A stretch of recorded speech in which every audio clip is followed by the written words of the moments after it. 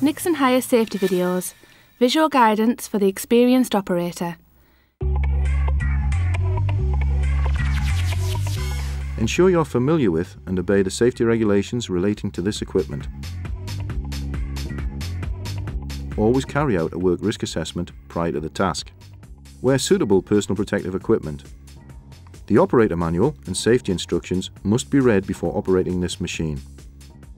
Replacement operating manuals are available on request from your nearest branch of Nixon Hire. Only use competent, trained personnel to drive the equipment for the purpose intended. Servicing must be in line with the manufacturer guidance. This is displayed in the operator manual and your hire agreement. Never use any equipment which is damaged or defective and never attempt to modify or convert the equipment. Use a correct tow pin and safety clip when towing. Make sure that the breakaway cable and any secondary coupling are used each time you tow the equipment. Always check the handbrake is released and the jockey wheel raised before towing. Check tyres for defects. Look for cuts or damage to the tyre. Check the wheel rim and the wheel nuts for damage and security. Check the hub for leaks. Walk around the compressor looking for damage to the structure. Check lights for damage in operation. Check the handbrake operation and ensure it is applied. Check the tow hitch condition. Never tow if the hitch is damaged. Make sure the hood is fully opened and secure. Check the engine oil level using the dipstick. Oil level checks should be carried out every 4 hours. Check the coolant level at the radiator cap or the expansion bottle. Only remove the coolant cap if the engine and radiator are cold. When removing the coolant cap, always unscrew it slowly and allow any pressure to escape before fully removing the cap. If you require a top-up of any fluid, contact your local depot.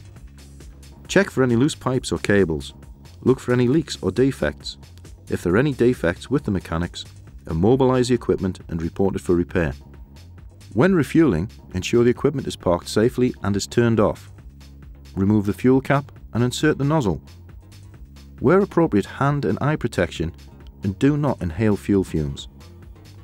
Do not smoke or refuel next to heat sources and do not refuel in enclosed places. Wipe up any spilled fuel and clear any spillages as they occur and stay with the equipment while it is being refueled. Close the fuel cap securely when finished. Make sure the hood is securely closed. Ensure you are familiar with all control devices. Open or close the valves according to the startup sequence in the operator's manual. Start the compressor.